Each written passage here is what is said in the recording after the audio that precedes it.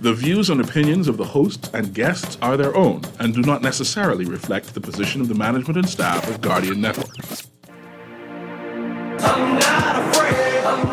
Afraid, stand, take a stand.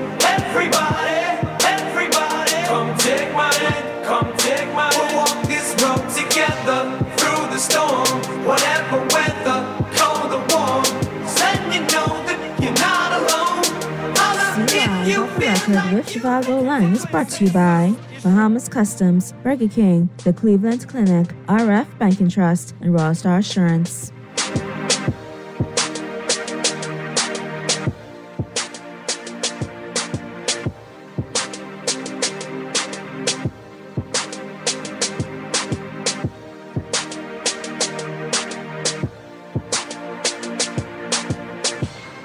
welcome, welcome, ladies and gentlemen, to Z Live. I'm Zhivargo Laing, your host. So glad you could join us here today on Guardian Radio, 96.9 FM on this beautiful Wednesday afternoon, Thursday afternoon. Tomorrow is a holiday here, Thursday afternoon. So glad you could join us uh, today uh, on this uh, beautiful Wednesday. Uh, if you want to give us a call at all on the show today, the numbers to do so are 323 6232. That's 323 6232 or 325 4316 325 4216. Or you can call us on 325 4259.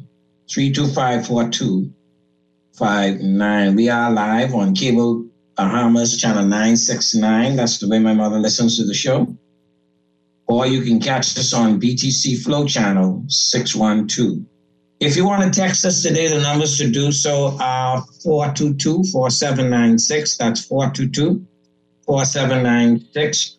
Or you can WhatsApp me on 439 3043. That's 439 3043. 439 3043. We are going to have uh, better fortunes today. I believe um, than we had, technically speaking, yesterday. It was a huge challenge. I'm sorry about that. Uh, but uh, today is a better day. Now, whatever your thoughts are and comments are about the budget, are going to have to wait uh, for another day because we have, I think, some very important information to share uh, today. I'm trying to make sure my guests, first set of guests, are in the studio. Um, I'm supposed to have some guests to talk about the Bahamas games, but then after that, we have some really important uh, med- medical health information to share with you today because today is Wake Up to Your Life with Doctors Hospital, Dr. Janet Martin, and her, the, team, she excellent team she always brings to us. We're going to talk about some some uh, some uh, some really really interesting stuff today. I I love the budget and what have you. I see my guests I, I hear uh, too. I, um, really interesting information once we're done with our, our first set of guests. Uh, Minister Mario Bowleg, how are you, sir? Good evening, my brother. All well. Excellent, excellent, excellent. Always glad to have you and your team on, and, and, and especially since, since especially since you're starting trying to cause problems in the Bahamas. this, you, you, know, we were trying to we were trying to be one Bahamas and stay united. Now, now we going to rival each other. Yeah, you know, but the rival is always good. They say yes. on great competition, all the challenges that we'll be facing, allows us overcome, overcome all and unite as one. Yes, and, and and great fun and great competition. I remember, listen, I remember my days managing the Bahamas game, and I you have my sympathy because I know that it is a huge, monumental feat of coordination. But oh, it was grand to watch these islands compete against each other and the pride and the enthusiasm that was brought to bear on it. Yes, yes. you know, the, the, the, initial games was created just so that we can unite the nation together through uh, fairs competition of sports. Mm-hmm. You know, sports mm-hmm. is one of those vehicles that brings out the best of us and also unite us as a people. Uh, when you're talking about competing even in the international arena, those of like myself who would have coached and those athletes who would partake would tell you we've gained a lot of friends through networking, through the fairs and competitive competition. We all would have uh, gone through and the various sporting disciplines in our lives. So, you know, sports sports has the power to change the world, you know, and, and, and we believe that these games, just as previous administration believed that, you know, it's time to bring the games back and try to unite the country back together because there's a whole generation who would have missed most persons under the age of 30 would not have uh, remembered the uh, last games, which was held mm-hmm. in 2021, because mm-hmm. they would have been like around six, seven years old. Mm-hmm. So now they're in their prime of competing in these. Two, two, two, two, you mean 2001? 2001 was when the last one was done. Yeah. Right, right. Yeah. And so right now, they would be in their prime and competing in the various sporting disciplines. So now it's time for them to get a feel of what it's like to compete in their own Olympic style Bahama Games. Man, so so uh, tell me what has been uh, the um, response, the level of excitement from the islands themselves uh, since the, the games have been announced to be to return? Well, the excitement has been there from day one. Uh, you know, it would have dwindled a little bit during the preparation stage uh, when, at some point, when they thought that things were moving a little slow. But then, of course, you know, the Carifta games were at, at hand, and so our focus was more on the Carifta games. And shortly after that, we began to put our foot on the pedal and began to push more towards the marketing and, and, and the excitement of bringing the games back. Right now, the sporting uh, consuls in the Family Islands has received the necessary funding in order for them to get their self up and running. The, the various uh, federations has also received their funding to be the management and operations of each of their disciplines within the games.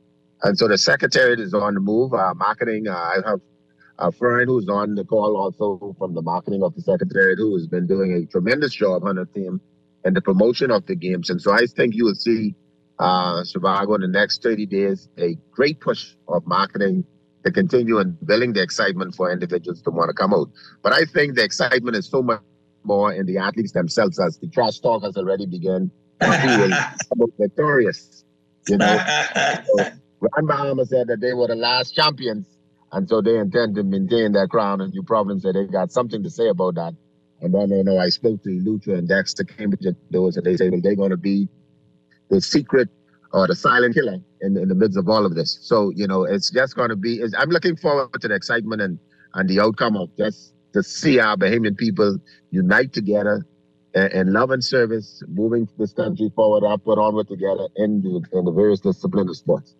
And we should have a what we should have a full slate of activities because I remember last time we had basketball and softball and track and field and we even had some um, the ladies play that. Uh, it's a tack. The it's a kind of tennis, but I, I don't remember now.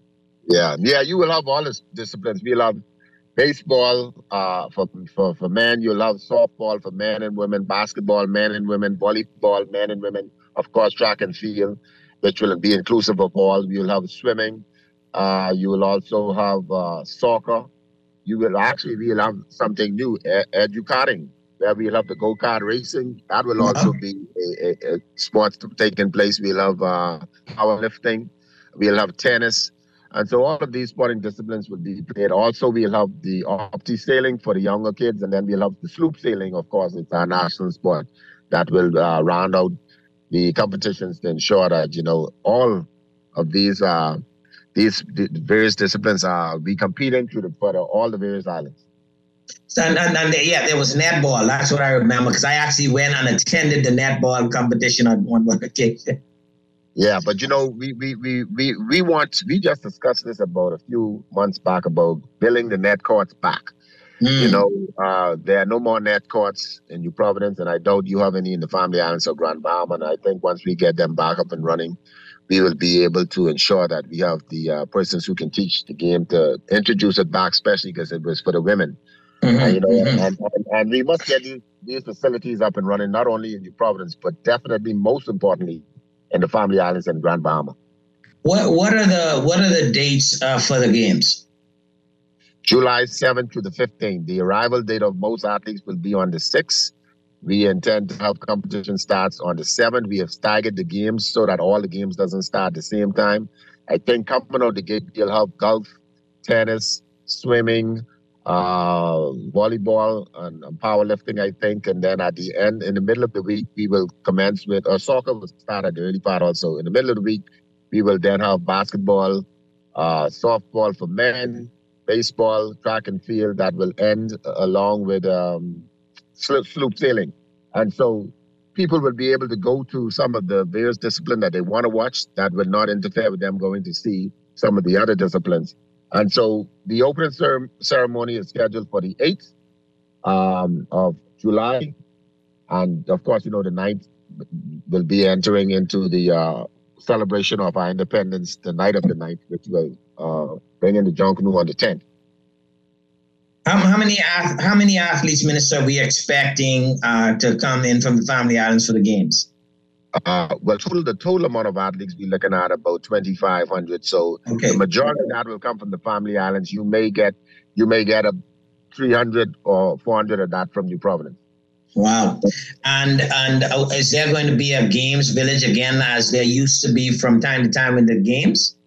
Yes, the games village will be the Super Club Breezes and the Courtyard Marriott. You know, okay. back in, in, in 2001, you know, we used to have the village and the government high school. But you, you are you you you asking me or you telling me? well, I know you were the minister at one point when we when we did that. So uh, you know that can't happen nowadays. You know, no, no. So, so no. Gonna have, the game village will be the hotel. We will be responsible for transportation, accommodation, and meals. So we want to make sure the athletes feel very welcome and feel treated as professional athletes while they compete in these games and make sure that the medics and the, all the technical aspects that that comes with them being treated as professionals are in place to ensure that they are treated well and, and enjoy the competition. And uh, and um, I I can't remember, but is there a cost to attend the games? You have to purchase tickets, etc. What what's the situation there? Yeah, it's a cost. I, I can't confirm the cost right now. I know we had a meeting, uh, I think Monday to, to, to make a final determination, but I don't think it would be no more than $5 kids and $10 adults and try to keep the uh, price straight across the board, even into the playoff rounds, because you don't want to make it too difficult. Mm-hmm. Uh, persons will be able to purchase uh, tickets online for the various discipline they want to watch at the NSA uh, and in person. And so you don't want to make it too difficult by moving the the prices up and down. You know, the whole idea is to allow individuals to come out there and support the island of their choice or their descendants and have a jolly good fun time without it being too expensive. All I can tell you is, you know how we go. We Bahamians, when it comes to sports and competition, like we just get a little passionate, right? So if we be carrying on bad for Lakers versus Celtics and uh, Nuggets versus Miami, you know my island versus this island. And you're in Nassau, you're in Nassau, you're a little challenged because, you know, you're in the same household. You have some folks who born in Nassau, but they, they, the elder people come from the islands. Of course. Of course. You have a lot of that. We will have a lot of persons in the same household, but playing for different, different islands. You know, because we allowed the rules allowed well, for example, both of my parents are Andros. So even though I might have born in New Providence, I have the opportunity to represent both Andros and New Providence. But however, some parents, some people have a father from Eleuthera and a mother from Exuma. So then they, they have an opportunity to straddle the line on which island they wish to go. You yeah. know, and, and those athletes will go where they feel they will get the most playing time and have the most the greatest opportunity or chance to be victorious. I got you. So again, July 7th to the 12th, you said. 15. Oh, a full, a full week of, uh, of, of events. Yes, sir. Okay, well, folks, you heard it. Anything else, Minister, um, Madam Director of Marketing, uh, you want to add? Uh, but uh, the exciting Bahamas coming up. Sorry. Hi, I'm here. All right. Anything you want to add? For...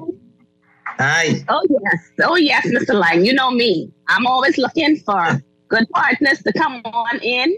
This is going to be great. Can you imagine your company being advertised over 16 platforms, over a week of in, um, competition, a lot of fun, The local market will have all their eyes on these games.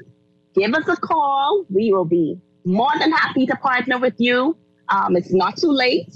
Um, the billboards are going to go up. We want to show you guys off. And guess what? This is the Bahamas game. And we want every Bahamian, every company that wants to participate. We welcome you. Give us a call, 801 0390. That's 801 0390. And, and there is no doubt that I that Bahamas games are both well attended, very well viewed. I could tell you that. And Yeah. and you you you'll be shocked, you know, some of these older people who, you know, they ain't getting out there and moving up and down. They sit back, No. they sit right down there in that chair, lay right down there in that bed, and lay right there. So Andros, go Andros, you know. Right? Yeah, that's exciting, Bob. Yeah, And we we wanna, can. I want to encourage all Bahamians who does not decide to partake for various island of their choice to please come out and support the island of their choice. And let's have a jolly good fun time as we celebrate this 50 years of independence and be jubilant and excitement involved in sporting activities. Well, you know, Minister, I I, I retired after the um, pastors versus politicians game some years ago because my knee is bad. So I mean, I'm not I'm not coming out retirement, but I'm going to be a fan and I'm going to cheer on. I ain't going to say which island right now because it's a little bit of a problem for me. I know we appreciate that, man. We appreciate you being there. And I hope to see all the former ministers of youth, sports, and culture come out. Uh, some might not have had the opportunity to host the Bahama Games like others, but you know, I want all, I will invite all now publicly on the radio to come out and be a part and let's celebrate our Bahamian athletes through our own games, the Bahama Games. There you go, ladies and gentlemen. Ju- July 7th to 15th. Don't forget, don't forget, Bahamas games coming up in Nagua, Abaco, Long Island, Eleuthera, New Providence, Grand Bahama, Bimini, all the islands, Cat Island. Oh, you got it. They have all of them will be involved. So, so, so let, let's uh, let's go and support. Thank you very much. Thank, Thank you you. much. Appreciate it. We'll be in touch. Ladies and gentlemen, you're listening to Z Live. I'm Zhivargo Laing, your host. When we come back, we're talking about your health now. So stay tuned. We'll be back after this break.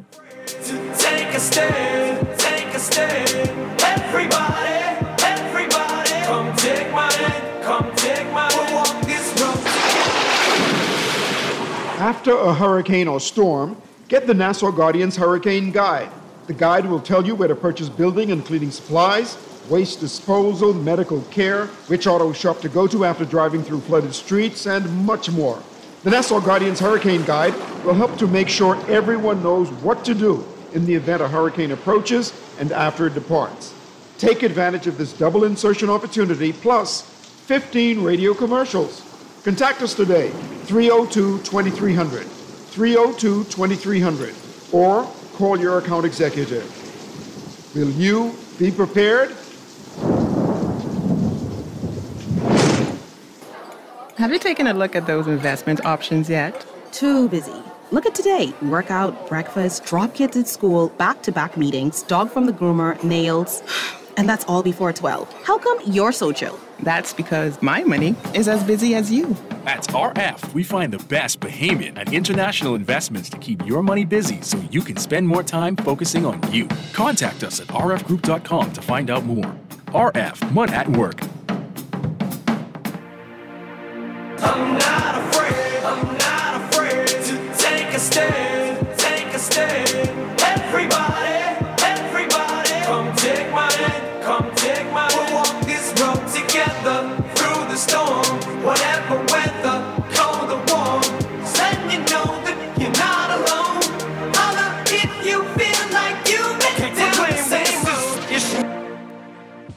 Welcome back. Welcome back, ladies and gentlemen, to Z Live. I'm Zhivargo Laing, your host. So glad that you could join us here today on Guardian Radio, 96.9 FM on this beautiful Thursday afternoon. Let me, in advance, wish you a happy, happy uh, Labor Day. And for all the workers in the country, um, all those who seek to work in the country, I wish you a restful, celebratory Labor Day. All righty. Well, listen, folk. So I've been looking actually. I've been looking forward to this. Uh, uh, Dr. John Martin of Doctors Hospital and I are going to be discussing with some of our experts today a topic that I have no doubt we all have an interest um, in. And uh, we're going to be talking uh, with doctors Ariane Davis and, doc, and uh, Muthuku, Muthuku Maran Rangaran Rahan. I, that's almost, I, I think I almost got it, but you can call her call Dr. Ranga. Ranga. And uh, D- Dr. Ariane Davis Simmons is a medical obesity management specialist, board certified internal medicine and, and endocrinologist, diabetes and metabolism specialist. And Dr. Ranga is a general and bariatric surgeon. Wow. We're going to learn all of this stuff uh, today and learn how to pronounce some of these things uh, the way they ought to be pronounced. So, uh, Dr. Martin and doctors Ranga and Davis Simmons, welcome to Z Live today and wake up to your life. Thank you, Zhivargo. So, thank you. Thank you, so- Doctor.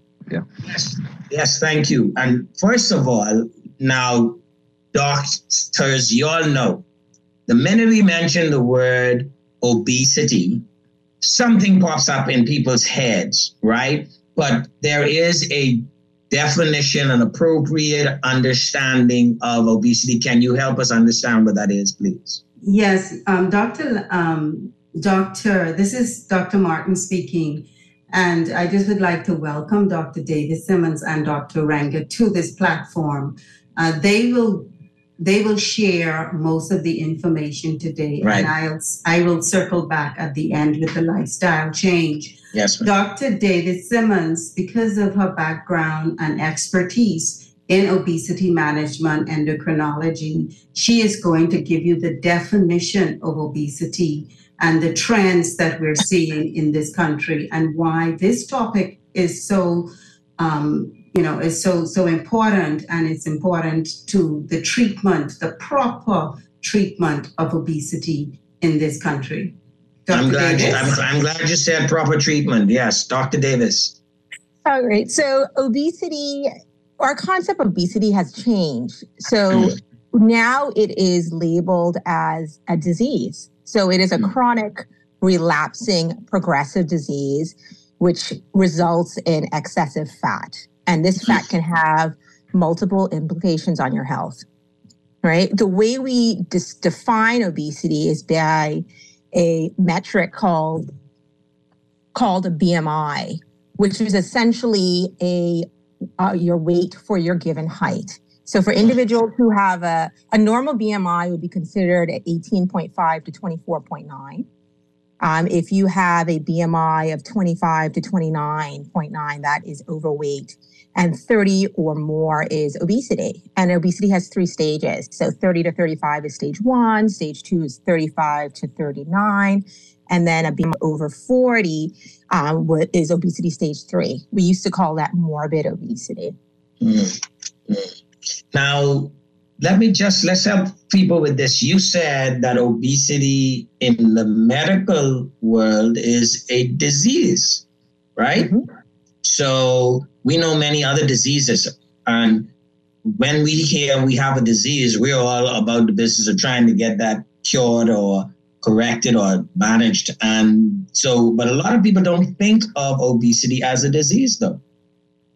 Yeah, that's right. So that, like I said, in the last 20 years or so, this is a concept that has been introduced. Before we used to think of it, okay, you're you're fluffy, you're solid, you're just plump, but it's because that the excess fat has multiple um, effects on you. So it can affect your hormonal levels. It increases your risk of blood pressure. It increases your risk of diabetes. It increases your risk of fatty liver disease, um, of venous insufficiency. So it's multiple organ effects, heart disease. So this is why we coin it as a disease. It is a metabolic. Um, it has metabolic effects. And, and so, can you help us understand? Like, so you know, I I call and, and so I have whole chickens sometimes that I'm cutting up, and I go under the chicken skin and I see all of this uh, yellowish material in some chickens. There's a lot of it, and and I understand that to be fat. Can you help us understand what this fat is? What what is happening that causes us to have fat buildup, and what this obesity really means uh, in terms of that fat? Where is it? Like, how? Why is that happening? Okay, so there's there's many factors that lead to obesity. So in the in simple in simplified, we think of it as being an obesogenic environment. So we're surrounded by high calorie foods, we're not exercising enough, and then having a genetic susceptibility to it, meaning big boned people or heavy set people running our family. But it's much more complex than that. Um, so when we think of obesogenic environment, so an environment that promotes obesity, it can be anything from increased life stress, financial stress, emotional stress, not sleeping appropriately, getting that eight hours a day, having a very sedentary job, too much screen time. Um, there can be medications. Um, your doctor may have you on medications that may promote weight gain. Um, a lot of the antipsychotic, antidepressive meds can tend to do that. It may be an older woman who's going through menopause, or it may be post pregnancy weight gain, um, things like that. But why do excess fat happen? It essentially is due to an increased calorie intake and reduced energy burning. So you have a positive deficit. So when your body is getting in too much calories and burning too few, it is stored as fat. And this fat can be the fat you can touch, right? Like around the abdomen, the you know thighs and upper arms. But there's also visceral fat, the fat that is deposited in the organs. It's mm-hmm. deposited in the liver and the pancreas, uh, and this is the one that's detrimental. Right, and so uh, so here we are. We all we are all eating, and depending on how much we eat, we're all taking in those calories. But for any number of reasons, as you indicated, whether that's physical activity or the type of foods we eat or some medical issue we might have or some emotional issue we might have, our bodies have gone into a fat storage mode and depositing that fat all kinds of places. And depending on how prolonged that is and how much that is, we then end up putting on more more weight to you know, not to get into what we might call being overweight then to being obese at different stages. So, but it all boils down to what's happening, what you're taking in, and what you're using up in terms of energy. Did I get that correct. right? That is correct. Okay, because you know, because one of the things I thought is because I'm I'm very sensitive to this now because I'm trying to drop weight around my stomach, which I've done a very good job of of late.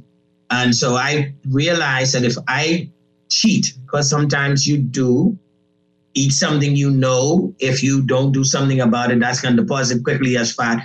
I go and play basketball walk bicycle etc because i need to use up that energy right? That is very good. Yeah so you're doing what we call behavioral modification. A little bit of what you like goes a long way okay. but you burn it off. Mm-hmm. yeah and, and and so so the people have to understand that basic formula of it's really calorie scenario. How much you take in, how much you use. Correct. Okay.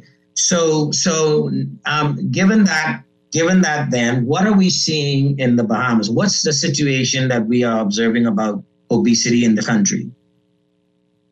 So I mean there's an obesity epidemic in the western world but we're definitely seeing in the bahamas and it's a lot because of our our lifestyle right? So mm. some, some of the points we have alluded to, we're eating a lot of high calorie, fast food, high fat, um, simple starch, simple sugar foods. So we're getting a lot of calories and we're moving less.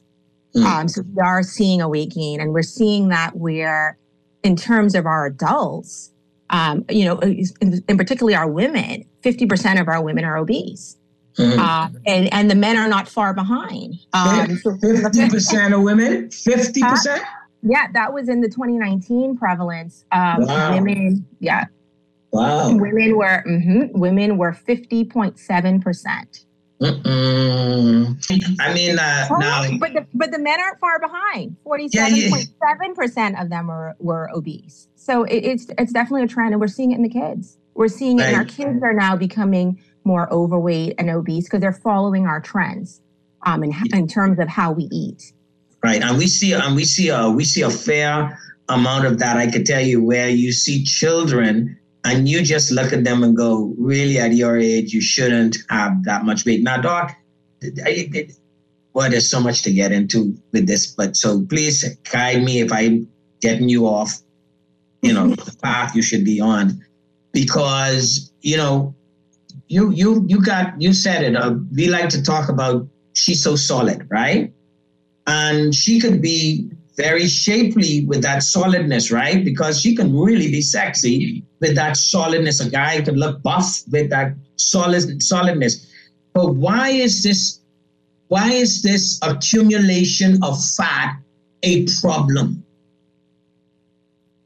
Okay, so the accumulation of fat is a problem, a very big problem from a health perspective, Mhm. because as our waistline expands and as we get become obese, it Mhm. increases the risk of a lot of metabolic complications. Okay. Uh, so we're seeing, with along with this trend in obesity, we're seeing increased prevalence of diabetes. Diabetes happening in kids, young adults, and we all know the downstream effects of diabetes, especially if it's poorly controlled diabetes. That leads to amputations. That can lead to kidney failure. That leads to the heart disease, heart attack, strokes. So Mhm. that's a big issue.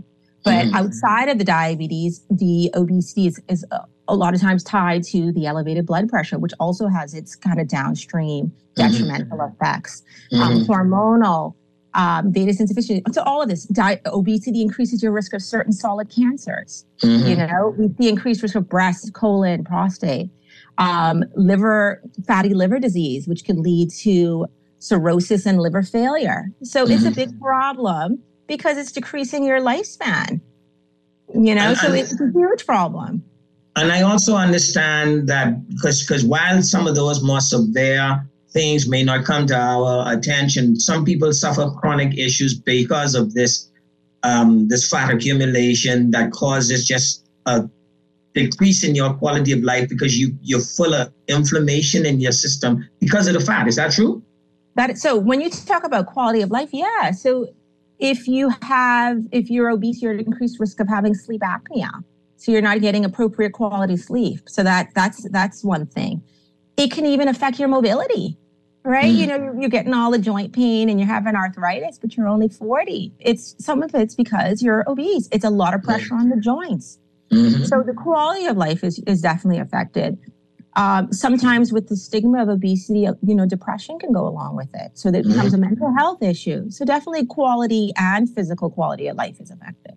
And, and it can affect hygiene too, because sometimes because of the fat accumulation, it's difficult to really, you have to spend a lot more time bathing to ensure you're not accumulating, you know, uh, odor, whatever, and that kind of stuff. And so cross to people as a part of your social problem. Is that not Yeah, also? it can become it can become that's correct. It can become a social problem. If you have increased fat folds, skin folds, yes, you can get skin infections, yeast developing, um, things like that. Um, so definitely, it it can affect socially your social interaction. Um, along with obesity, there's there's more you know that you can have more urinary incontinence, meaning you know issue um, difficulty holding your bladder. You know, so you may have you know soiling yourself, things like this. So that impacts you socially. Is, is, is there a genetic component to obesity?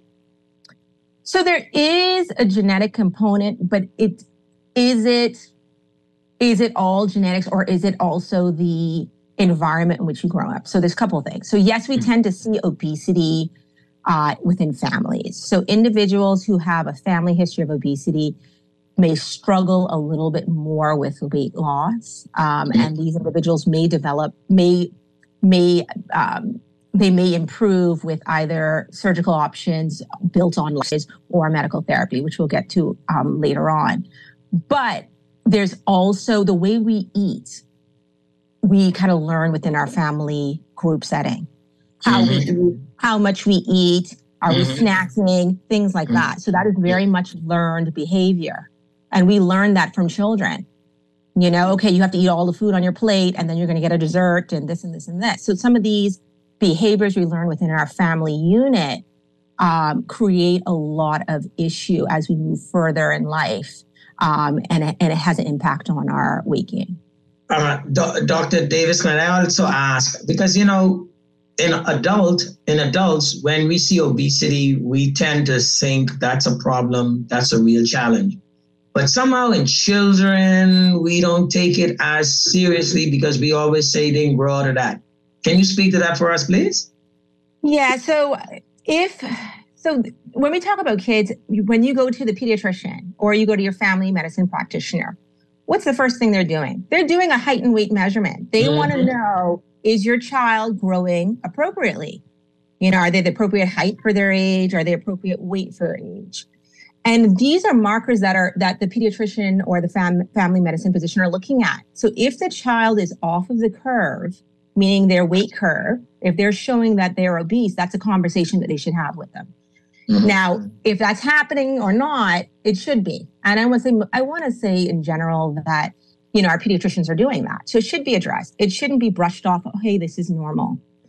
Uh, and I think as we see the pandemic in terms of obesity going on, um, doctors are really broaching this earlier. So I have been getting quite a few pediatric um, patients coming in for obesity evaluation because it's not, you can't just say, hey, you're going to grow out of it. It's something that needs to be addressed now. Because if not, you're increasing the risk of these complications we're talking about. You know, the diabetes, the type 2 diabetes in kids um, and, and, whatnot. Doc, you know, I have to tell you, um, we're going to take a break uh, in a, uh, when, but uh, I, I, I really only just connected doctor's office and they always take your height and weight. Yeah. never dawned on me that they were doing a BMI. Yes. I, yeah. never dawned on me. yeah. It's one of your metrics that just like how you need to know your blood pressure, you need to know what uh-huh. your BMI Wow, I mean, I, I just never. Now, quick, quick, quickly, doc. There is this waist to height also measure that is starting to be talked about, and sometimes I've heard, sometimes I've heard it's also maybe even more accurate than than BMI. Right. You're right. So with BMI, remember we just said it's a weight for height measurement, but mm-hmm. if you mm-hmm. tend to have more muscle mass, um, that can skew things because you may right. be heavier, but your fat percentage is less. So you're right. right. A weight to hip measurement is something that w- can also be done. So okay. for for men who have a higher kind of waist circumference, if we're talking mm. 40 inches or more, that is very much tied to heart disease. So we care about that. If women, if it's 35 or more, again, that's kind of tied to metabolic issues and heart disease. So that is another parameter along with fat percentage. Um, that is something that we take into consideration. Well, when we come back from the break, then let's turn to the very difficult issue of yes, I'm overweight, yes, I'm obese, but oh my God, the challenge of getting this down. Can we talk about that next? yeah, that's great. All right, ladies and gentlemen, you're listening to Z Live. I'm Zhivargo Laing, your host. So glad that you could join us here today. We'll be back after this break.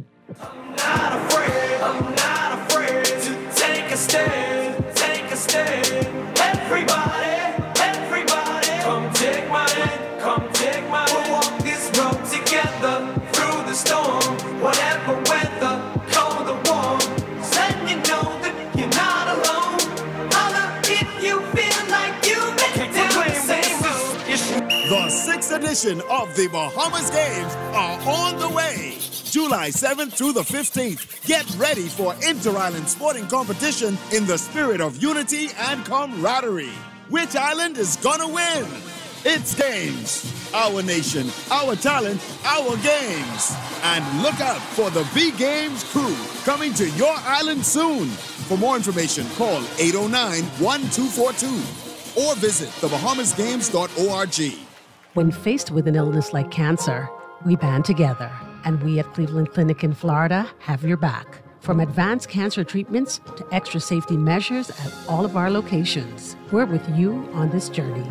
For every infusion and follow up, for every step of the way, for every care in the world. Cleveland Clinic in Florida. Get the care you need when and where you need it. To learn more or connect with a local representative, Visit clevelandclinic.org slash Caribbean.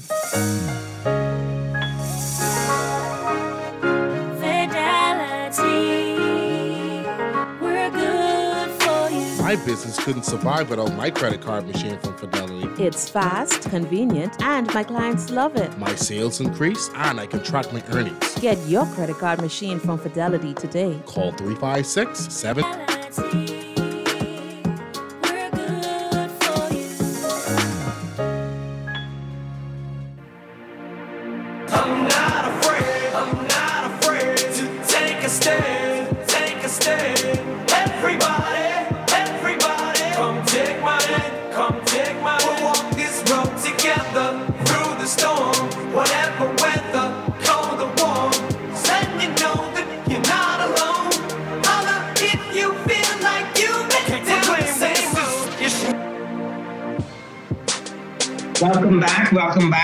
And gentlemen, to Z Live. I'm Zhivargo Laing, your host, uh, here on Guardian Radio 96.9 FM. So glad you could join us today. If you want to give us a call at some point, the numbers are 323 6232 or 325 4316 or 325 4259. You can text us on 422 4796 or you can WhatsApp me on 439-3043. I am here today on our Wake Up to Your Life with Dr. Dr. Janet Martin and myself, uh, being joined today by Dr.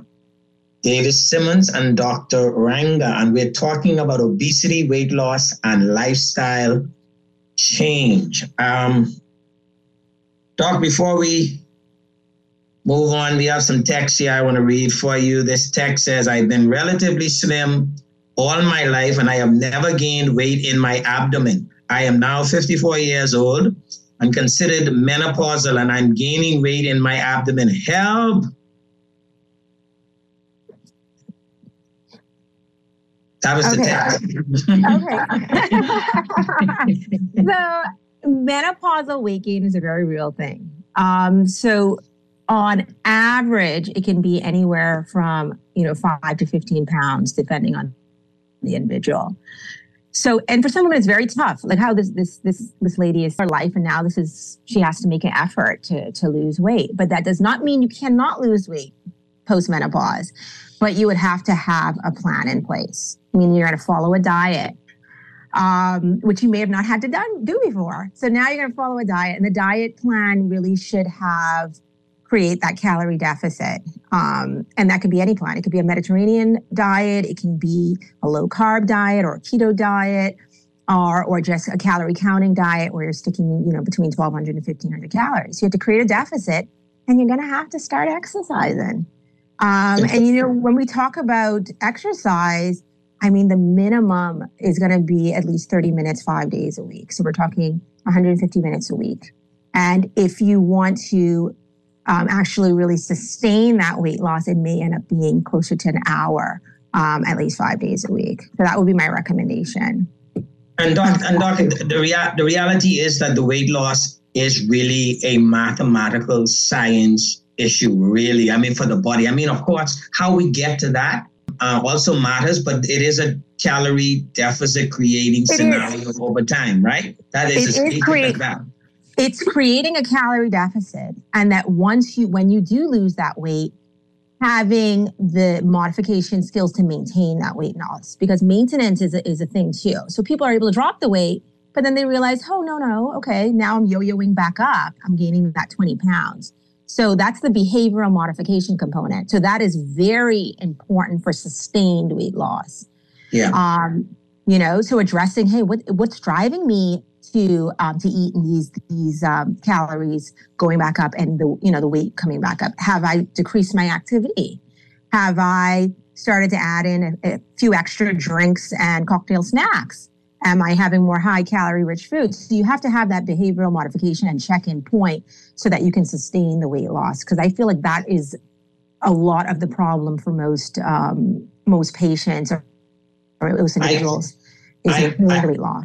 I can tell you that, you know, I up in the pandemic got up to 209 pounds, Mm-hmm. right? And I'm five feet eight. So, you know, I was obese, Yeah. And you know, I really one of the something one of the things I learned is if you it has to be the changes you make have to be lifestyle changes that you are able and prepared to maintain because trying to do things that represent a real strenuous effort on your part that is unnatural for yourself it just it's it's too hard. And so so many of the things that i've incorporated really had to represent things that i would do anyways. Like so i go someplace and i know i have to park but i never park close to the building i'm going to right? I park a little further away. I'm trying to get a little bit more walks in and stuff like that. And so i'm saying like uh, isn't it necessary I, I mean the challenge of losing weight I've seen from so many people really boils down to you're trying to make a dramatic change from what the way you used to live to this new style, and it's not sustainable. You're right. So this, you're definitely right. You, so when we think a diet plan, you know, for some people, when they just hear the word diet, you know, they they do it for a week and that's it. But you're right. You're picking a plan that you're able to continue with. So there's many studies that show this, where they compare like I said, a Mediterranean diet versus a 1200 calorie diet versus a keto diet. And what they found when they follow these individuals for, the, for over the two year program is that the weight loss was essentially the same. It's picking a diet you're able to stick with. That it's it's real. That's that's the the kicker is picking something you're able to continue with, not something that's a crash phase. And Yeah. small changes go a long way. So mm-hmm. again, when we talk about exercise, nothing against the gym, but it doesn't mean you have to jo- join a gym. You know, it's physical fitness. So like how you say you add walking in instead of jumping in the elevator, take the stairs. Um, parking a little bit further. Um, you know, going for a short walk after the evening meal. So small changes can have great impact. Yeah, and choose and choose something you uh, like. If you don't enjoy, I, I I enjoy basketball. Now my knee doesn't allow me to play basketball with any rigor, but I went online and saw that if I shot, just shot the basketball for a half hour to an hour, I could put in, I could lo- I could use 200 to 300 calories, and so that's what I do. I just go out and just shoot. I don't have to run up and down jerking my knee, but I'm shooting, shooting, shooting, and you. Uh, but the, the, the, before you know it, you work up a sweat, and that means your body's burning calories. That is Right. right. This text says, uh, Doc, um, the, this menopausal weight seems to be very stubborn and appears in places that I have never gained weight. Is that the same patient? same Uh, sounds, sounds like sounds like this. Uh, this this next text says, Mr. Laing, it is strange that diabetes used to be a rich white man's disease. Now look, its effects. It affects little black children. Guess they call that progress. Sad reality. I agree with that last comment. Yeah. And I, I, I agree with the first one. Yes, the menopausal weight gain, it's a difference. So gonna have hips. Yeah, and Um, if I may add, if I may add something to, um, you know, the the last the last texter who spoke about diabetes being a lifestyle of the rich. Um, what happened is, yes, we've progressed, and our culture, our cultural foods, also add to, you know, add to the to the increase of obesity and type 2 diabetes, not type 1, because there's a difference. Um, and so it's our cultural foods, our social, our socializing, the, the way we socialize, all of that adds to um, the increase in obesity and type 2 diabetes. the, the, the economics of food also has made a huge difference. Lots of people don't know, but a hundred plus years ago, a bag of sugar could not be afforded by 99% of the people in the world. It was a commodity of the rich, the wealthy, the royals. It was so expensive because you had to have so much labor, had to have so much this and so much that. When we started to produce sugar by mechanical means, it drove down, it became a mass distributed product and that changed the diet of the planet. That's right. That's industry. That's that's industry, and and of course, you know, in our culture too, we have to have two and three meats on a Sunday, and that you know, it it it it, it gives appearance as though we could afford it or we're rich, and so all of that adds to the increase in industry. Um, and and um, lends itself to increase in diseases, chronic diseases like type like obesity and type two diabetes. You're correct. Uh, th- this this text says, "Is there anything that I can do in addition to diet and exercise to out my hormones to keep my hormones in check?" But maybe, Doc, if you can quickly speak to it, and then because we have a break now at three, and then I mean, this is a big question that maybe need some time. Okay, I so we'll defer till after the the break. Okay, um, this this text they stop blaming everything on menopause. we weren't blaming everything on menopause, but menopause is the issue, eh? No, I mean, there, menopausal waking is a real thing. So I Yeah. did, you know, we, I want to support that um, listener with that. It is, a, it is a Right. real thing. No, no, no, no. I mean, you see, women, too many women can tell you. so, so you, you can't you can't dismiss it as a as a reality. All right, ladies and gentlemen, you're listening to Z Live. I'm Zhivargo Laing, your host. We're going to take a break for news, and when we come back, we're going to continue our discussion about obesity, uh, weight loss, and uh, also we can talk about all these treatments that may be necessary for people who really struggle with this disease. We'll be back after this break. weather, cold or warm, letting you know that you're not alone. Holla if you feel like you've been down the same road. This is Guardian Radio 96.9 FM, Nassau, Bahamas. Have you taken a look at those investment options yet? Too busy. Look at today workout, breakfast, drop kids at school, back to back meetings, dog from the groomer, nails. And that's all before 12. How come you're so chill? That's because my money is as busy as you. At RF, we find the best Bahamian and international investments to keep your money busy so you can spend more time focusing on you. Contact us at rfgroup.com to find out more. RF, money at work. When you get back home from vacation, the last thing you want to do is stand on another line to fill out your exemption paperwork. Well, guess what? You don't. Customs just got simple with exempt. Now, with the click of a button, you can fill out your customs form, calculate duties, and even pay online while you're still traveling. Just show your QR code to the customs officer, let them check your bag, and you're out of there. All you have to do is download the Exempt app. It's as easy as 3, 2, 1. Exempt, making travel and customs simple. As of June 12, 2023, this app will become mandatory for all returning residents of the Bahamas. The Exempt app is now available on Google Play or. We are going back to Cali BK style with the California King Collection, only available at Burger King Nassau. Enjoy your choice of plant based, crispy chicken, or fire grilled beef topped with melted white cheddar cheese, bacon, freshly sliced red onion, ripe tomato, crisp lettuce, and BK's creamy guacamole, all served on a toasted brioche bun. The California King Collection packs a tidal wave of flavors and is made with only quality ingredients that are refreshing and filling. Burger King Nassau, where taste is king.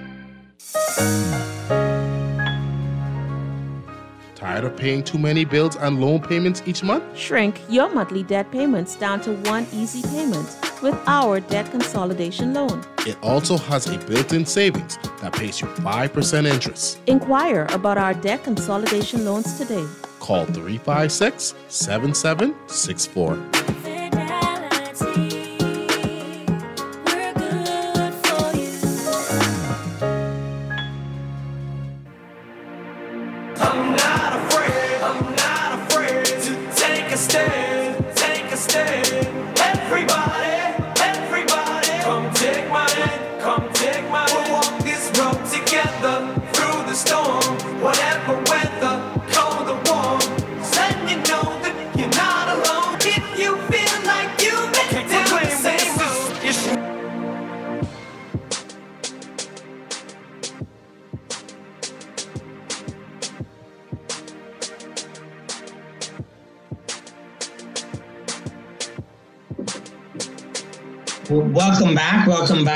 Ladies and gentlemen, to Z Live. I'm Zhivargo Laing, your host. I'm So glad that you could join us here today on Guardian Radio, 96.9 FM on this beautiful Thursday afternoon, the day before uh, Labor Day. We have a call on the line. Uh, go, uh, we, we are here today. Let me, first of all, just for those of you who may have joined us late, we are here on our Wake Up to Your Life with Janet Martin. We are entertaining today uh, Doctors uh, Davis Simmons and Dr. Ranga. We're talking about obesity, weight loss, and lifestyle and behavior changes. We have a call on the line. Go ahead, caller. We're listening to you. Do we still have the caller? No? Oh, okay, okay. So, so um, doctors, we you have a patient who is presenting with um, obesity. Um, what, depending on what level of obesity they may have, is now the approach to addressing the obesity problem? So the so the initial approach is going to be for one to get a history Mm-hmm. of the onset of the weight gain and obesity. Is it something that's lifelong? Is it something that's just happened over the, you know, the last five to ten years? So we get a, a detailed history. So it's based mm-hmm. on onset weight, which is your lowest weight. We want to know what plans have you tried in terms of which dietary plans you've tried, how much weight how much weight have you lost for those plans what was successful what was not successful because we don't want to repeat things that you know didn't work um, we get a family history is there a family history of obesity heart disease things like this um, part of my initial intake will also be doing pertinent labs right so i'm screening for is there what we call a secondary cause of obesity is there other things that are going on that is leading um, to obesity outside of lifestyle. So, you know, I'll do the thyroid. Um, I, I will, I'll evaluate to see if there's anything called cortisol excess, which is a hormone made by your adrenal glands. If you're making too much of it, it can lead to weight gain. So we're screening for these things. We're also looking, is there any other obesity related medical complications? So I'm screening for type 2 diabetes, so A1C, liver dysfunction. I'm screening for fatty liver or liver derangement. So that's all part of the initial intake. And then you get a detailed kind of food intake because a lot of patients will tell you anything, but it is really revealing when we go through what their day to day meals look like or what they're calling a meal. They'll say, Oh, I didn't really have a meal, but I had a few snacks. And the snacks are quite significant and they make up a lot of the um, excess calories. So you get a detailed history, you get their exercise history, and obviously allergies, things like that. So that's the initial intake. Um, and then that's when we start talking about, hey, are they ready to change? Setting a plan, um, setting an exercise routine plan, planning for your meals. Because as we as we know, um, if you fail to plan, you right, you plan to fail. So you have to set a, a plan in place in terms of what the meals are going to look like, prepping meals in advance, carrying meals, not waiting until you're hungry to kind of find food because everything that's around us is pretty unhealthy um, and very high caloric. Um, so that's all in kind of the initial assessment. Um, very I- often, sorry, sorry, you go ahead. No, no, no. Go ahead. Go ahead. So that's the No, I- initial assessment. Yeah, I was just going to say that very often, many of us don't really get bothered by our weight until either we get sick from it or people start saying you, boy, you need to do some of that belly. and, and then, so I, I tell you, so I, that actually led me to do some reading about this. And there are different fats, right? There's the shapes, the way the belly fat, the, the deposits can tell you, I'm told, whether it's hormonal or related to something else. Is that not true? Um, so yeah, when we talk about hormonal weight gain, it could be you know different for uh, for men, especially as they age and as they go into what we call andropause, which is testosterone declining. Sometimes they get more central obesity, so obesity around the abdomen. They may get de- development of the breast tissue. Um, people who tend to are obviously, as you know, heavier drinkers, they get that diffuse kind of abdominal fat. Um, in perimenopause, we see kind of lower abdomen, hips development. So, yeah, it, it can mean different things, um, but it still boils down to excess fat and, Right. and fat depo- deposition. Right, but yeah, because what I what I understood from the reading is you're it's still the fact, but you it gives you an indication of the cause, and sometimes given the cause, you have to look at different things because especially with respect to being very like cortisol in your system and that contributing to any number of things, including weight loss. Then now you're looking at the, stress. Or are you eating too much chips and these kinds of things? One of my texters said that they was listening to the show eating chips, and so they were trying to cut clear their conscience by exercising while they eat the chips. Uh, no, yeah, but so so this comes back to the concept you you made a point earlier is that a lot of us don't realize that we are overweight, obese until someone else brings it up. Or maybe when we look back at photos or things like that. But this is a normal parameter that we should know, just like how you know what your blood pressure is. Right. You know, you should also know what what is my weight? Is it a healthy weight for my height? Uh, and this is the whole thing about having, you know, preventive care visits, getting your annual checks, as your doctor will discuss this with you or should be discussing it with you. So knowing it ahead of time, um, and then having modifi- modification, meaning that you you should be getting on the scale periodically. You shouldn't be surprised. Oh my God, I gained ten pounds or Mm. twenty pounds.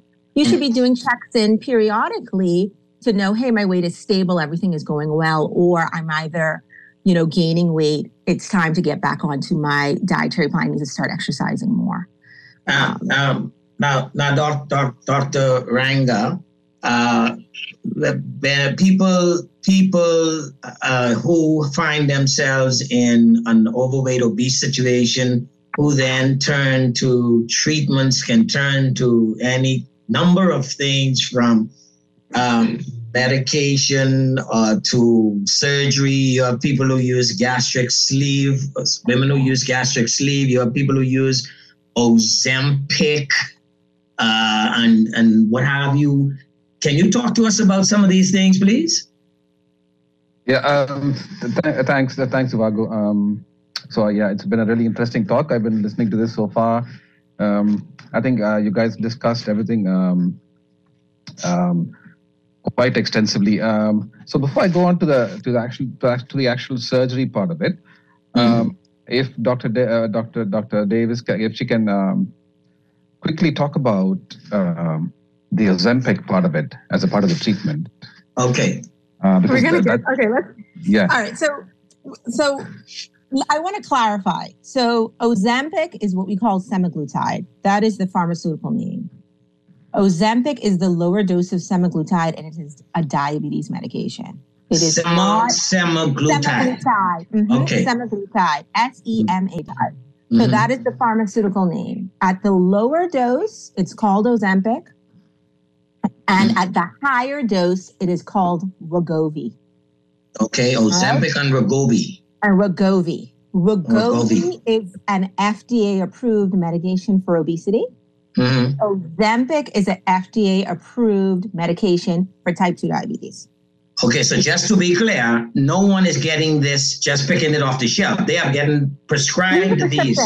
Yeah, these are prescription meds. And I know we're jumping to it because this is what's all in social media, you on YouTube, everyone's talking about Ozempic. Mhm. So with semaglutide, so this is how we found out about the weight loss trials. So there are diabetes cardiovascular trials that have to be run before diabetes medications get approved. Okay. So this was done for semaglutide.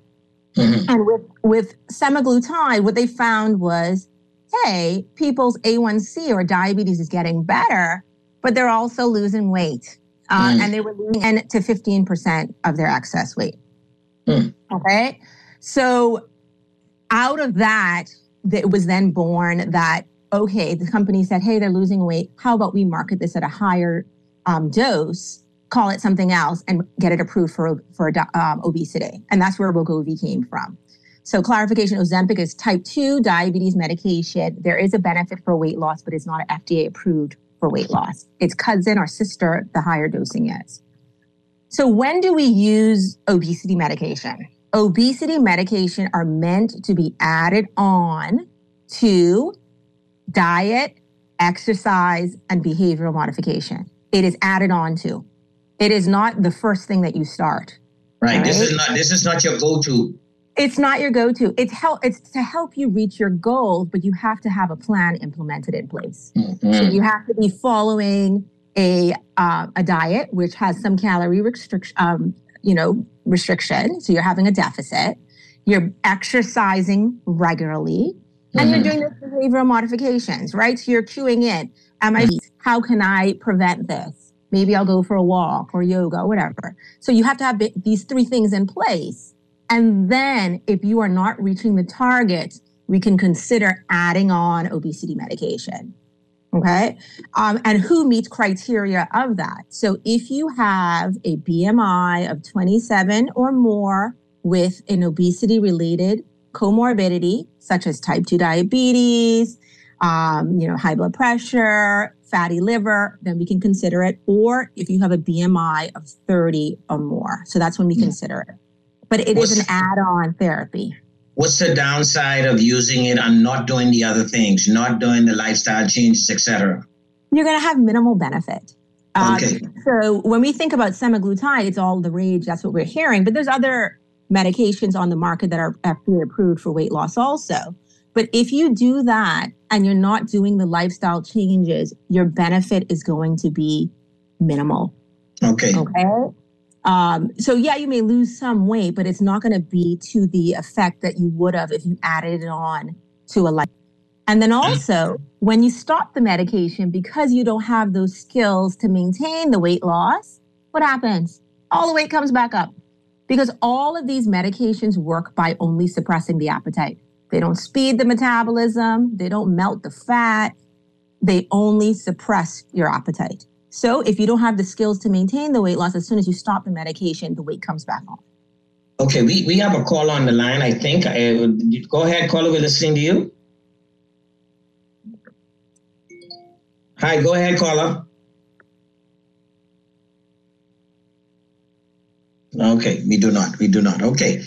All right. So then now, uh, some people, why why would anybody, Dr. Ranga, have to resort to surgery? Um, yes, Bhagat. So, um, so what, what we got from all of this is um, so the, the whole weight loss journey is is a team effort that includes doctors and the patient system. You see, Uh, um, um, so once uh, the, patient or the person uh, you know who's who's uh, obese wants to lose weight, they join our program um, uh, which involves meeting uh, Dr. Martin first, um, um, who who will guide them regarding their nutrition and planning the diet, and she does a detailed and thorough assessment of what to eat and how much is required, and, and what you know. So the, she plans the meals for each individual person because it's, it's different. Each person is different. Um, um, so that that takes you know a course of several several months sometimes, um, during which Dr. Simmons will also see them, uh, and we also have a psychologist on the team uh, who will also assess them, uh, because as uh, Dr. Simmons mentioned before, um, um, many of the uh, morbidly obese pa- uh, people patients they will have some sort of um, mental problems, um, you know, like depression or different you know different degrees of depression or anxiety or uh, low self-esteem is all of this is known and all of this is proved and it's it's very common to see this. So um, so the whole process this whole process usually takes several months. Um, and at the end of that um, um, if if if they satisfactorily you know they, if they satisfy the, the the criteria like all of these um, the treatment protocols um, then I will I will consult them and um, I will check the BMI um, if the BMI is, is 40 or above the BMI is 40 or above uh, they are eligible for some sort of intervention. Uh, either it can be surgery or it can be like something like a balloon um, and in surgery of course we've got many many kinds of procedures that can be offered.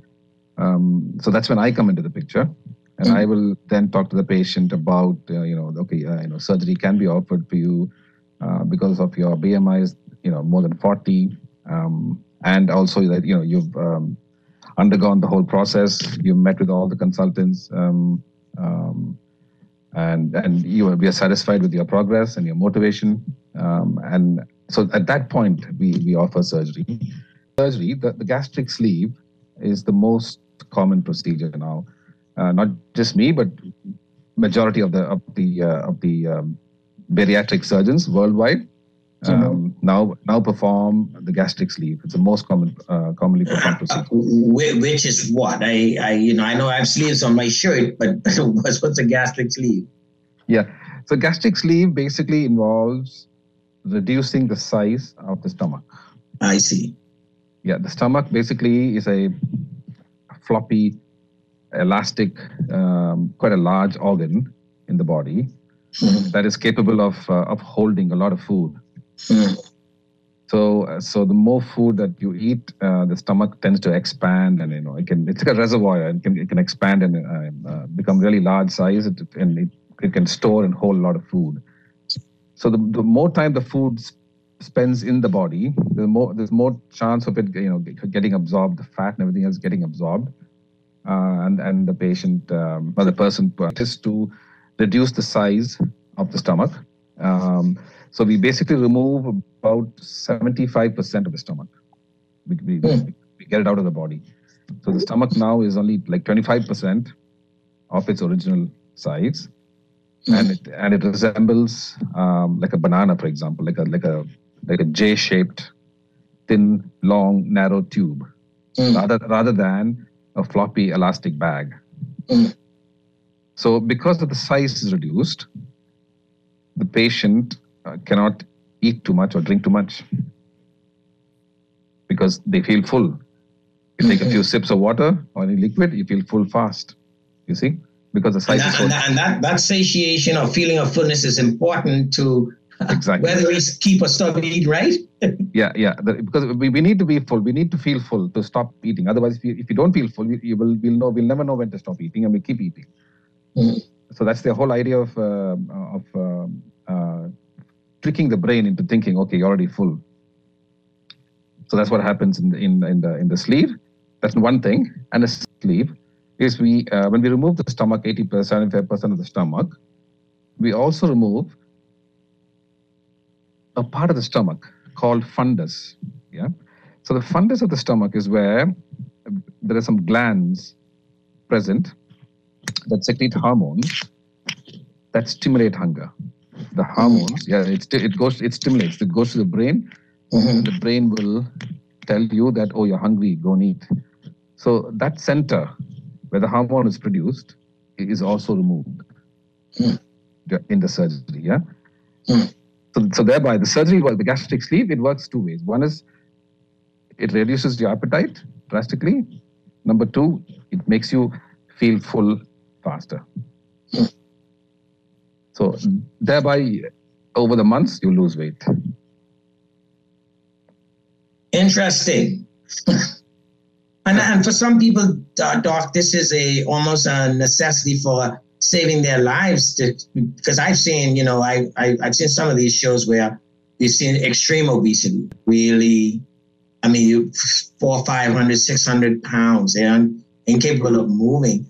And, and then they might have a surgery like this that might help them lose some of this weight, right? Exactly. Yeah. Exactly. Yeah. Yeah. In in in, in, many situations, it is it is uh, life saving, especially in, in patients who have uh, uncontrolled diabetes or uncontrolled hypertension, because we all know what happens if you don't control the diabetes, for example, or if you don't control. Let's let's take hypertension, for example. If you don't control it, you can end up uh, um, um, um, getting you know like strokes and um, uh, we call it bleeds, you know, intracranial bleeds in the brain. You see. So all of those are complications of high high uncontrolled blood pressure. Uh, similarly, diabetes, high uncontrolled diabetes is uh, you know more prone to the, the heart attacks and uh, all kinds of vascular diseases. Uh, many of them are emergency and you know life threatening. So by What- what- sorry, sorry, sorry, quick- quickly. Yeah. No, so by re- doing the surgery, they reduce weight, and because they reduce weight, the, the blood sugar levels will come down, and the, the blood pressure levels will come down, thereby preventing them from uh, catastrophic uh, events.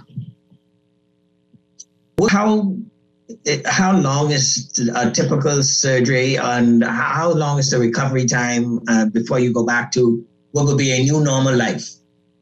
Yeah, uh, so the surgery usually takes about two hours to do. Um, and of course, we do it uh, uh, through a, a, you know laparoscopy uh, is basically you know like keyhole surgery.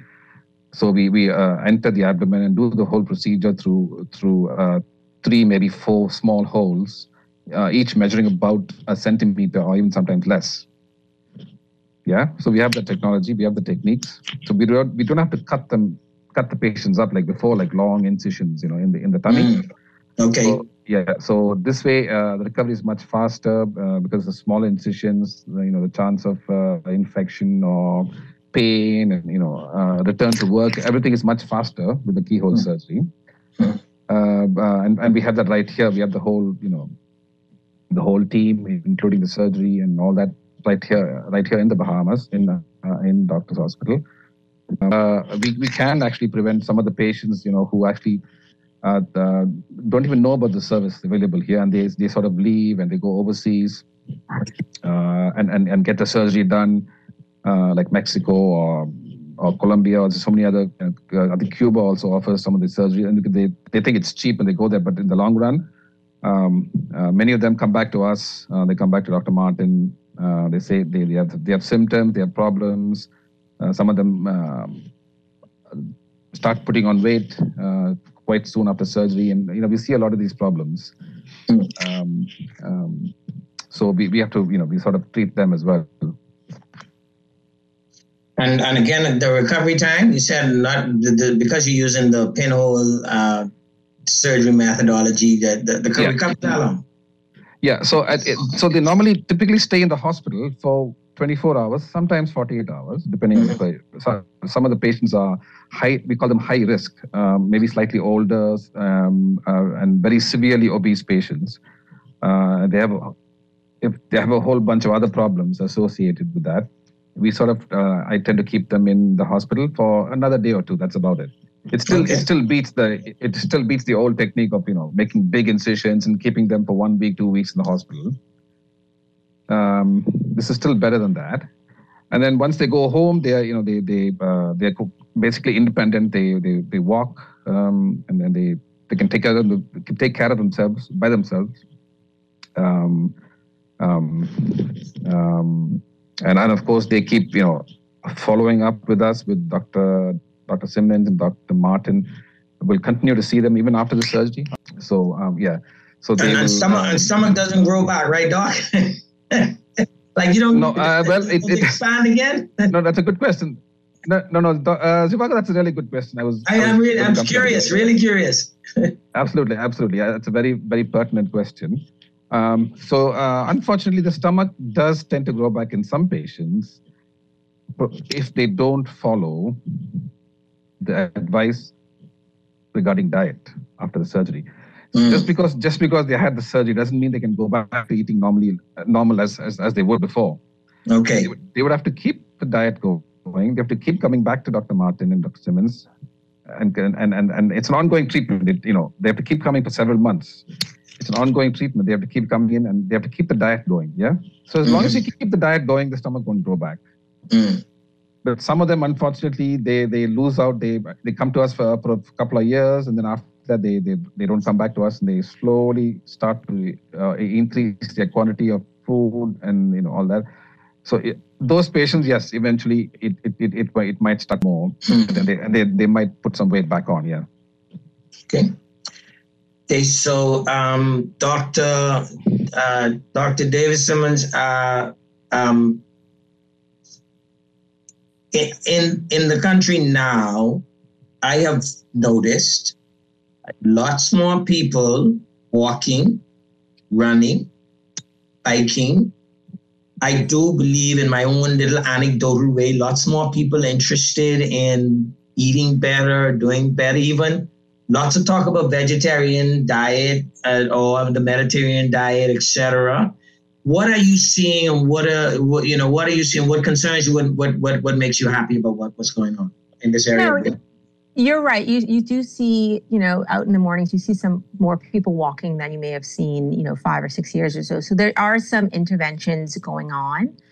Um, I think education is a big component. Um, so a lot of people, I don't think, know how to eat.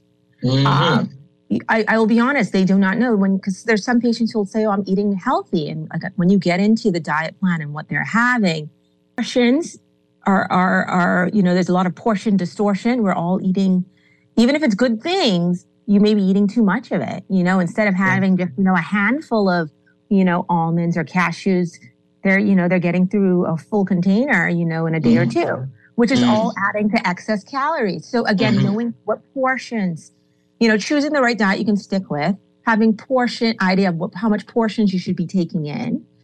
Um, and you know, working out. So I think I, I think there is some interest, but I think we still need a lot more education on how to eat.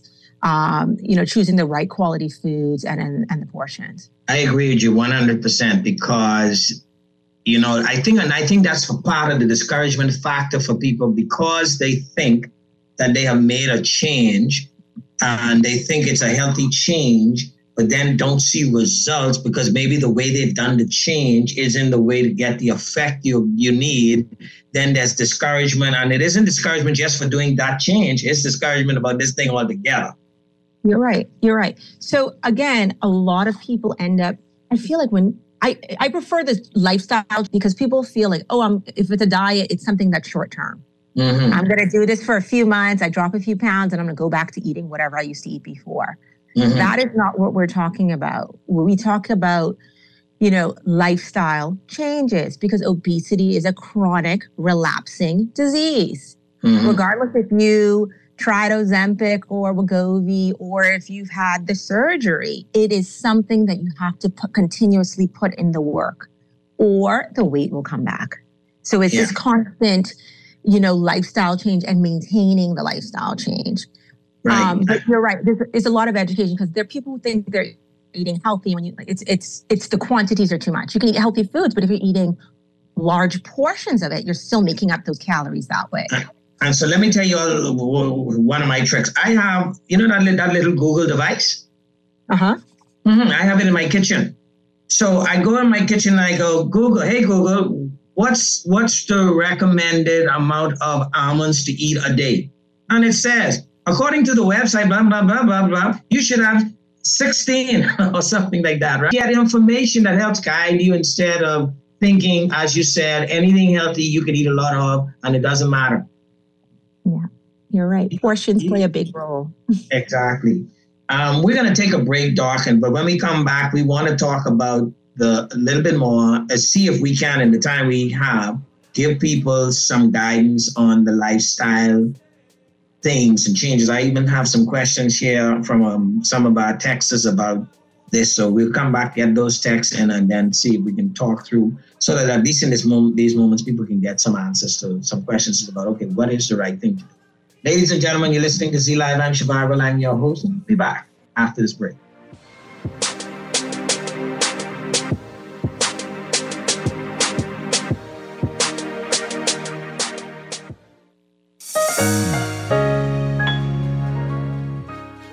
Paying too many bills and loan payments each month? Shrink your monthly debt payments down to one easy payment with our debt consolidation loan. It also has a built in savings that pays you 5% interest. Inquire about our debt consolidation loans today. Call 7764.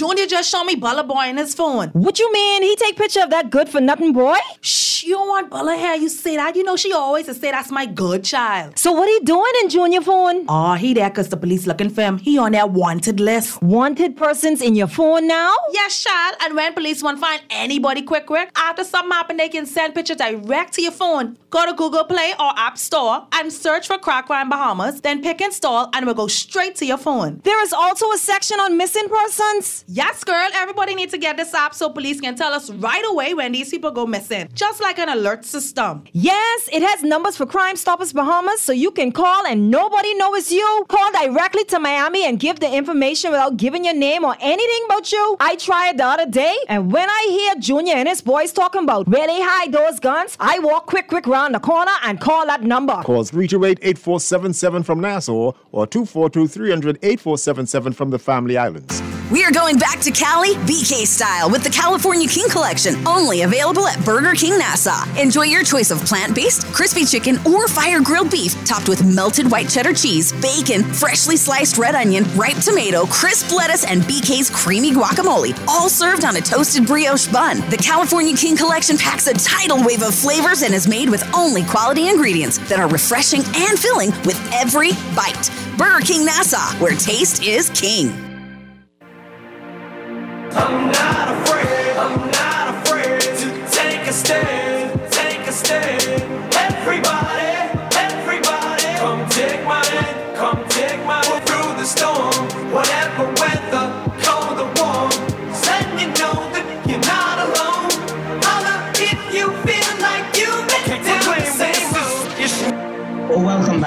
Welcome back, ladies and gentlemen, to Z Live. I'm Zhivargo Laing, your host. Hmm. So glad that you could join us here today on Guardian Radio 96.9 FM on this beautiful Thursday afternoon. If you want to give us a call, the numbers are 323-6232 or 325-4316 or 325-4259. You can text us on 422-4796 or you can WhatsApp me on 439-3043. We are doing our Wake Up to Your Life with Doctors Hospital today, and we're talking um, with a team from doctors, uh, Dr. Davis Simmons and Dr. Ranga, about obesity, weight loss, and lifestyle change. And uh, we, we, I've learned a lot, I'm really grateful. Uh, Dr. Ranga, I didn't know, I didn't know 85% had nothing having to do with um, that uh, that particular weight loss uh, surgery treatment, and I thank you. And I'm really grateful. Uh, Doc, doctors, uh, this is a text says, our cultural foods are not the issue. It is our cultural shift that is the problem. We no longer walk from home to work or engage in manual labor as we once did. We drive from home to a food store less than a mile away. We are essentially consuming more calories than we still uh, than we will ever use. Yes, I, I agree with that comment. So we are increasing our calorie intake and we are reducing our energy expenditure. So essentially, we all eat too much and we move too little. So I agree Yep. with that comment. Yep. And so again, to go out your way to use up calories, I think is difficult and for many people, not everybody, but difficult for many people. It's not mm-hmm. sustainable. But here's what I do know. I have a house and I have a yard. And it has stuff to do. So a part of my lifestyle thing is do my do my yard work, do my housework, manually do that stuff because it's gonna use up energy, right? So I have coconut trees in my yard. I go pick the coconut trees and I bark them, and then I have to go and lift the empty um, coconuts and take them to the trash, and I have to do. And by the time as I'm done, I garden, and by the time as I'm done, I'm sweating and I'm tired, and I know I used up some energy. And guess what? That wasn't an extraordinary thing. That's my life. No, yeah, no, you're exactly right. So we're talking about developing a more physically fit um, lifestyle. So what you're saying is, I do, I do things like Yeah. that. So it definitely burns um, calories. Yep. Um, and it, but when we talk about exercise for weight loss, though, we do want the heart rate to go up to a certain percentage Yes, exactly. that Right. fat burning into that Right. fat burning zone. Um, so now there's some people who say doing yard work, but they do it very leisurely. Yeah, yeah, and There's yeah, not yes. a lot of calories being burned. No, not ain't I me. That's yes. I agree. I agree with you one hundred percent. You need you need you need that, that heart rate to go up. Correct. So we need, you know, you have to break a little sweat in order to kind of burn those calories. And there's, Right. there's one thing that I would I want to say is that if you do not change your diet and you just focus on physical activity, it's very difficult to lose weight. You can maintain, but you have you have it's built on the diet. So, you know, we always say 90% of it is diet or getting in that ru- reduced calorie intake. Yes, And yes. then we add the exercise onto that. And Yes. the exercise is helpful to maintain the weight loss because we all know that heavier you are, the higher amount of calories your body needs just to maintain. For sure. Mm-hmm. When you start to lose weight, that resting energy expenditure starts to go down. So smaller people need less calories just to maintain. So the physical activity and boosting that, increasing that, helps to maintain that weight loss and help to sustain the weight loss. Um, but it's really built on the diet and then Now, the Doc- behavioral modification to maintain it. Now, doc, let's talk about the diet now. Let's talk, doc. Now, I tell people Bahamians don't eat food, you know. We just eat flavor. and we eat a lot of flavor. Because you notice Bahamians don't eat a lot of bad flavored food. we eat flavor, right? And so, and I think that's our challenge because when we when we then have to adopt diet change dietary changes, so much of it uh, uh, revolves around mm, vegetables and stuff and things that honestly, because of our limited knowledge about how to really work these foods, is not flavorful. What do we do? What do we do? How do we approach this? So I, I'm not a believer that healthy food tastes bad. No, Okay. me, me. I'm with you. Yeah. Um, but, But but doc, but doc, as a dedicated cook, not chef, a dedicated cook, I can tell you though, if you don't have knowledge about how to make it flavorful, it's a challenge. Because a lot of vegetables are bland. Yeah, but I mean that's where you use your bevy of seasonings and things like that. But small hmm. changes, you you said earlier in the show, can go a long way. So small Right. changes. You don't make these big drastic changes that you know you can't stick to hmm. for days. It's not going to hmm. be of benefit. So small changes. So if you are, I like to use the plate method. So this is just something very easy. I tend to use these more for my type 2 diabetics, but also for obese individuals, is that if you have a nine inch plate, so think about the plates we kind of grew up with, not these ginormous plates now. Um, if you divide that into quarters, half of that should be your low starch vegetables. So we're talking about green leafy vegetables, um, spinach, broccoli, cauliflower, things like that. A quarter of your plate should be your starch. So you could have your starch, but you choose one. So you're not going to do oh macaroni, rice, potato salad, plantain, because all of those are starch, or corn. That's a starch also.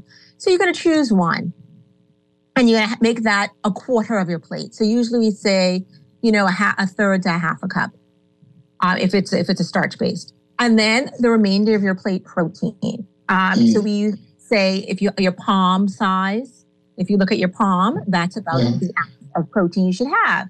Mhm. Um, and then you can use your your full should kind of follow.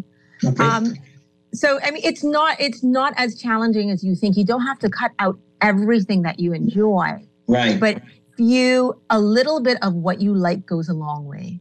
So Okay. if it is, you feel that hey, I want a little sweet, it's okay to have that.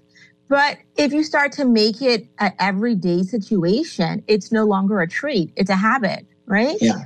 So Yeah. it's it's picking a plan again that you that you can stick with. Okay, I had my first butter pecan ice cream in two months today, but so that was my treat. we, we have a we have we have a caller on the line. Uh, go ahead, caller. We're listening to you. Uh, good afternoon. How you doing? Good, good, good. Good afternoon. Great, great. Is anything such as a speedy metabolism? Let me tell you why. Before I went on my health journey 14 years ago, I used to live in Exuma. My mom, she used to work at a hotel. I used to eat like five pork chop, two steaks a day, cook a big pot of white rice with butter on it, bake a half a pound of Johnny cake, two cheese and butter on that, and uh, eat a whole can of corned beef and everything, but never put on an ounce of weight. Never did. So he's, uh, he's asking, is there something But uh, now, such a thing as I did stop. Although I wasn't putting on the weight, my arteries still would have been get clogged if I didn't change my eating habit. But even now, I'm, I'll be married in November, 37 years, and still can wear the same size clothes. uh, yeah. So there are some people whose metabolism may be faster than others. That, that's a genetic component to that also. Um, Mhm. we also know as as we age, the metabolism may slow a little bit. Um, as you know, you know, kids may be able to eat more and not gain weight. They're more active, and then as if they continue to have high caloric foods as we get older and we take those Mhm. bad habits into our adulthood, we start to gain weight because there is some slowing of the metabolism. So that is there is something to that. Yeah, and see, because I'm a marathon runner, so I I I drop weight pretty fast. So I have to eat because I don't eat meat at all. I eat you know some fish and everything, but it's a lot of beans, lamb, and so I have to take in a lot because you see once we get started with our 16 weeks of training, if I don't take in all the beans and quinoa and brown rice, you know I'll maybe get down because I'm 180 now, maybe get down to 124. Yeah, yeah, yeah. But you know, unlike the majority of our population, you're you are burning a lot of calories with that training. Yeah. So it's the same thing when we see Olympic athletes. They, you know, swimmers, Michael Phelps, things like that. They had to take in thousands and thousands of calories calories. to Yeah, maintain yeah. their muscle um, you know, to perform. But unfortunately, that's not our general population. Okay, We're thanks a taking lot, a lot of calories and, and and not exercising sufficiently. Okay, thank you very much. Thank you. Dr. Ranga, can I ask you, you had mentioned repeatedly that people have to stick with their diet. So once once you do the surgery that you mentioned, there is like, you know, this isn't a this this is not for people a question of, you know, let's watch your portion size. Is it a question of a more a more strict dietary plans um, prescribed by Dr. Martin those? Is that what is happening? Yeah, yeah, ab- absolutely. Um, like like I said, it's not uh, the surgery is not uh, uh, like a shortcut to to success, or um, you know, there's no uh, quick in this weight loss uh, journey.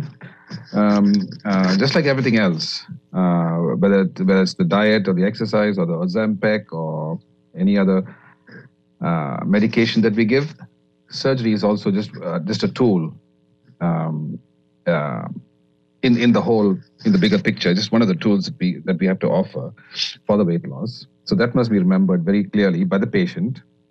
Um, and in fact we do talk to them about this. Um, and and you know that's why we need to spend several months with the patient you know before they actually come for the surgery where we actually discuss all of these issues and and get them mentally and physically prepared for what to expect. And um, and and, and tell them very clearly that even after surgery, they definitely do have to follow the diet um, that is uh, prescribed, and that the patient would have to keep coming back to us um, at least once a month after the surgery, um, uh, where we keep a track of their weight loss uh, and also we keep a track of the nutrition. You see, there's a lot of issues that we didn't discuss. Of course, uh, this is it's beyond the uh, scope of this um, of discussion.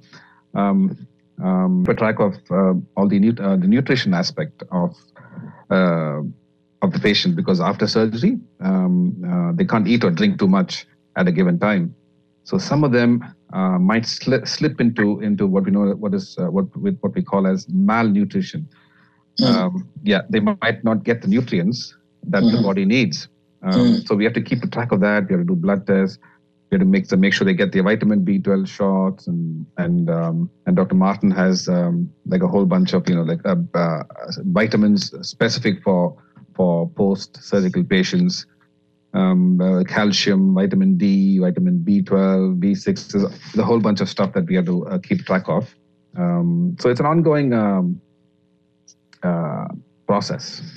You know, you know, Doctor Doctor uh, Davis Simmons, uh, listening to Doctor Ranga, what the word that keeps popping up in my head and to what you said is patience, because uh, you know we take we build up these weights over time, and then we want to lose them in the shortest time. Exactly what Dr. Martin says to the patients also, because you didn't gain this weight overnight. You gained the weight over 10 years or 15 years. So you, Mhm. you can't come in here expecting to lose it in, a or, a, or a week or a month. Mhm. Uh, yeah, it, it is going to take several weeks. Yeah, I'm sorry, several months. Um, uh, maybe even up to a year, even. Uh, you know. Mhm. And one one of the things I liked about talking with Dr. Martin was she is very practical. And I always use this example, right? I said, Doc, you know, I can tell you no lie. I like to drink sodas. I like to drink sweet juices with my food. She said, Well, she said, Well, you know, I don't want you to do the sodas. I want you to eventually wean yourself off the sodas. But if you are going to do it, don't do it with the food though, because that insulin spike is going to work against you. So you have to wait a little later and do it. so I did that, and now I'm actually off the sodas altogether and the sweet juices. Perfect. Well done. Well done. Yeah. And she and she also says she also says um, you, you can drink your way to obesity. You know, not not just eat. Oh yeah. and I, I think that I think this one of the things I learned too is you really you have to enjoy your journey of change. Or I mean, not, not everything about it is going to be pleasant, but but you have to at least enjoy it enough because even if you stress out about a cortisol in your body that works against your effort to do the good thing. I I completely agree with you, Ziva. That's yeah, that's 100 percent right. What you just said. Yeah. Yeah. They have, they have to enjoy it. They have to yeah. They have to understand it, uh, get over it, enjoy it, and not not uh, not think of it as like a torture. You know, Right. I can't eat this, I can't eat that. I don't like to. Right. Eat. You know, it's not a torture at all. End of the day, it's it's your own health. It's it's, it's you came to us. We didn't ask we didn't ask you to come here. You see. Right, right. It's ultimately the patient's uh, you know decision, and um, it's uh, the balls in the patient's court basically. Yeah. We can And- only, and like- only help them. Yeah, yeah. And an example of that for me was really enjoying finding ways to make vegetables interesting to eat, like Brussels sprouts as an example. So I have an air fryer, and you know there's a there's a there's a recipe for doing crispy Brussels sprouts. You know, a little bit of salt, some olive oil, and and the right temperature, and you can have them nice and crispy, and they're tasty. And even my son eats them. Absolutely. Yeah. Mhm. You know, you have a asparagus, and there's a way to fix the asparagus: a little olive oil and little vinegar, and maybe even a little honey and asparagus, right? And so I'm enjoying finding ways, innovative ways of making this thing that was a challenge for me, uh, not only interesting to eat but enjoyable to eat. Yeah, so that that comes back to we talk about behavioral modification and setting a plan. And you know, there I like that you said that you use the Google. So there's so many electronical apps or tracking apps, interactive programs, electronic diet programs that can give you these type of ideas. Healthy Mhm. snacks, low Mhm. carb snacks, showing you how to prepare it. Um, so that you can sustain your goal. Um, if you track your steps, um, you know, track your calories again to help you maintain the goal. Right. And then, and then uh, speaking to these apps, you know, we, we go in the food store, many of us, and Bahamians have a staple set of stuff we buy onions, tomatoes, sweet pepper, celery, and stuff. But there's all these eggplants, all these different kinds of greens in there, but we have no idea what to do with them. The truth is, I'm saying we have no idea. So, so I go and I say to, hey, Google, what's the best way to prepare eggplant? What's the best way to prepare breadfruit? Right? And you get all these options that now expand. Did you hear my Google just start to talk? it heard me. you know, so it's, it's an opportunity to expand our, even our, uh, the breadth of our diet by including things that we never thought we could include. Getting creative. Yeah. For sure. Uh, we got about we've got about three more minutes. Uh, if you want to tell us, uh, you know, some things that you think we need to top up on on before we end, uh, this um, this uh, texter says, "What are some weight loss tips for a woman who is pre many perimenopause? What are menopause? Mind you, let me tell you all. I, on Monday we're doing a show with a lady who talks about who's been on the show before about uh, menopause, menopause. And so you might want to listen in on that show too. But there you go. Um, to- I mean, to ask her, answer her question again is to create, to find a diet that you're able to stick with that creates a deficit, low calories. It can be the plate method, it could be low carb diet, it could be a Mediterranean diet, either a 1200 or 1500 calorie diet. It's easy, very easy to find these plans. And then to start moving, moving, you know, park further away, go out for a 30 minute walk, you know, do some stretching exercises, Put some, music, put some music on and dance. and dance, do a Zumba. And there's so many free exercise videos now on YouTube. You don't have to pay for a gym. So True. getting moving. So that's the kind of changes that I would I would recommend for her. And it's start it now before you get through menopause because we want to prevent that menopausal weight gain. And manage and manage that stress. And manage that stress, right? Oh oh yeah, and you make sure you're sleeping well. You know, getting at least eight hours of sleep because it's hard. It's hard to ask someone to lose weight if they're not sleeping effectively. So you do Mm. need to get get sleep. But Well, uh, doctors, let me uh, thank you because we we've always had very very good um, um, professionals come on on on these occasions to share with us. We learn so much. You are so excited about what you're talking here. You're so knowledgeable. We are really grateful. Thank you, Dr. Ranga. Thank you, Dr. Davis Simmons. We really really appreciate your being on. And Doctor, thank you, Dr. Martin, for getting you here. all right, thank you. Thank you. Thanks, Zhivargo. Thanks for having us. All right, y'all have a great day, ladies and gentlemen. You you've been listening to Z Live. I'm Zhivargo I'm your host. I'm so glad that you could join us today. Listen, y'all have a super duper Labor Day. Rest yourself. Enjoy yourself, and then we'll talk to you again on Monday. God spares life. See you next time.